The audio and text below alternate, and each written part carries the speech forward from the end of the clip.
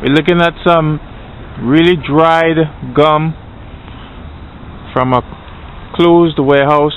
Been closed about two years. So this has been cleaned in a long time. It's exposed to sunlight, no covering. What we're going to attempt to do is to raise the temperature as high as possible uh, within the limits of the hoses of my machine and uh, see how easy it is to remove with a 15 degree 4.5 nozzle. Uh, the pressure should be around uh, 3200 psi on 50 feet of 3 8 hose and there I have my gauges for pressure and temperature. So we're starting around 65 degrees that's at no tip so that should be the inlet. The inlet temperature is 65 degrees. We're into 170 we have about 100 degree rise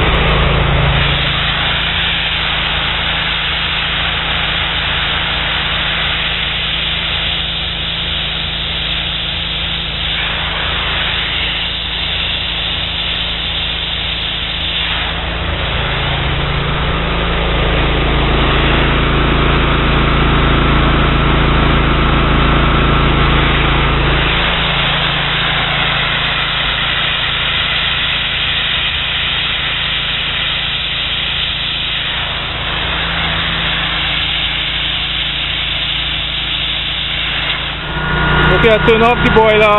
We are around 200. We're going to see how much more time it takes to do one piece of gum at 200 versus uh, the odd 250 degrees we had a moment ago.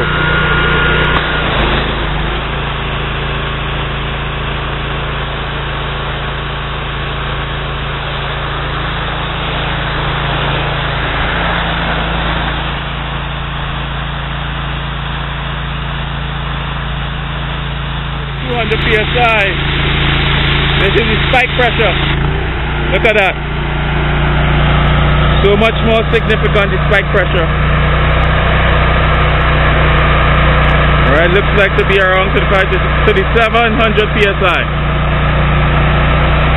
50 feet of 3 toes directly off the boiler.